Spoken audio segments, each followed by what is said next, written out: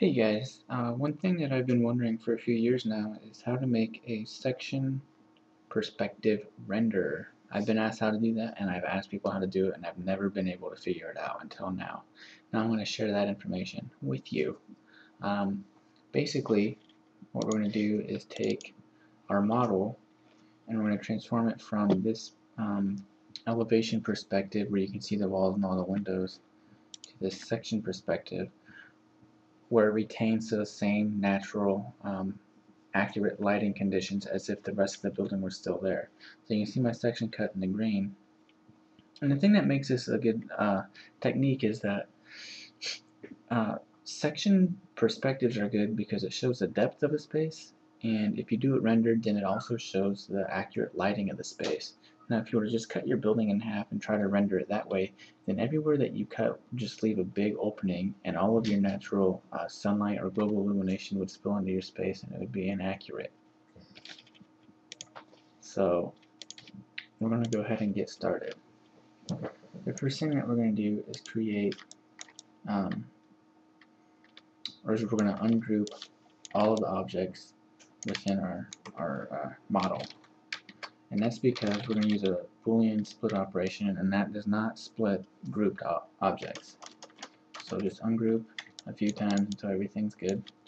And we're going to create a uh, planar surface and then move it to where we want to make our section cut. We're just going to bring it just a little bit beyond the um, front of our building here. And then what you want to do is select your geometry select your bottle and go to the Boolean operation flyout and Boolean split. Then you need to select the cutting plane, which is going to be the, the uh, planar surface that we made. If you cut through windows, then you need to make sure that um, you do the same split command, actually not Boolean split, just a two-dimensional split command, and select your windows separately, because Boolean split will not split, uh, split two-dimensional surfaces. So I already have the section material, but I'm going to delete it and remake it so that it's easier to follow. All you need to do is make a standard material and I'm going to rename that section. You need the uh, default diffuse layer and you also need to add a refraction layer. For the diffuse settings, you want to make sure the color is completely black and that the transparency is completely white so that it's completely transparent. For refraction, if you go ahead and preview it, it looks like you're basically looking through uh, a solid ball, uh, a glass ball, and that's because of the IOR, or the index of refraction. You want to make sure that um, that's at 1. Different uh, objects like plastic and glass and crystal and uh, other things like that have different index of refraction, which is basically how light is distorted as it passes through the material. Um, so go ahead and change that to 1 and preview it again and it's completely flat and you can't even tell that the material is there. So what we're going to need to do is select our our section objects and apply this new material to it. Because we have windows and we're trying to show the light, um, we've just applied that new material to that those windows and it's basically going to uh, make these a solid wall so you won't get any lighting in there. You can't just simply change it back to the window material either because if you do that then when you render it you'll have a uh, basically a reflective window floating in front of your section perspective. So we're just going to completely delete those and that will uh, leave the the window mullions and all the framing and all the walls there and also let the light pass through the openings. so next thing we need to do is set up our view. We're going to go to the uh, viewport tab and go to set view. In this case it's right.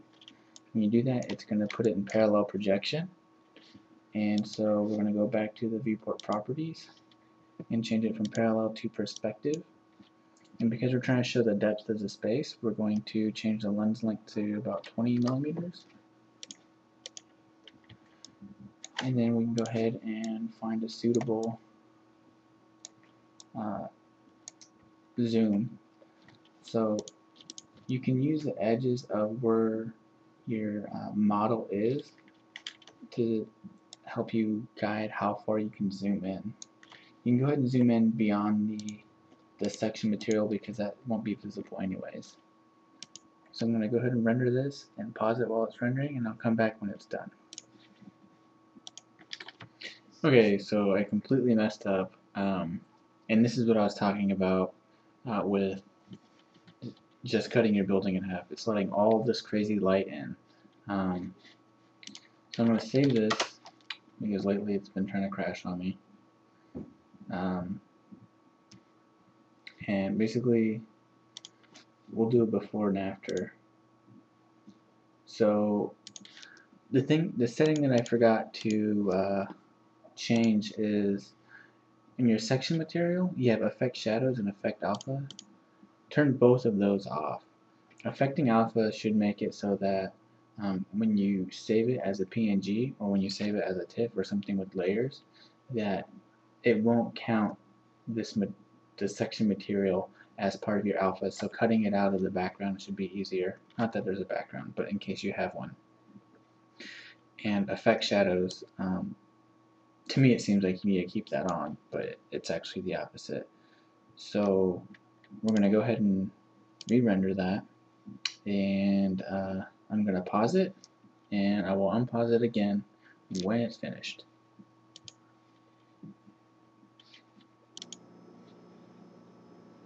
Okay, so I've gone back and I've changed those settings uh, and I've re-rendered and it looks a lot better now. Uh, so to give you kind of like a comparison,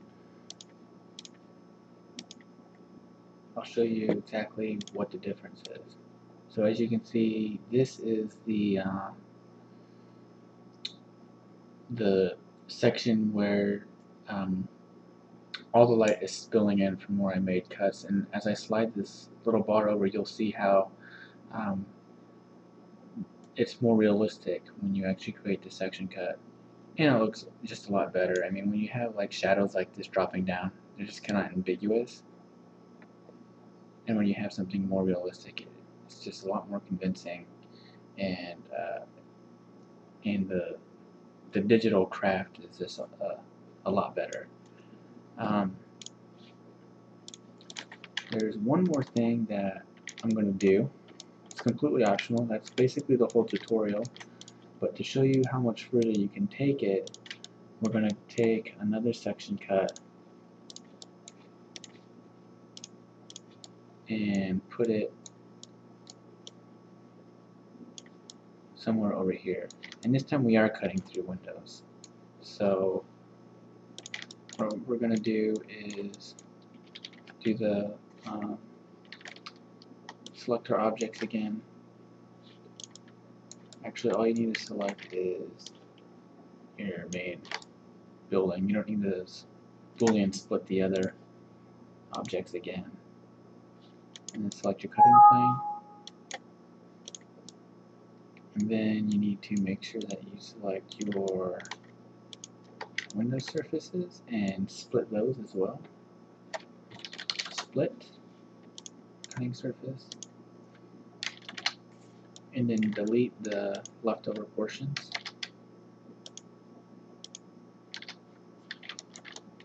So now you have your new section cut.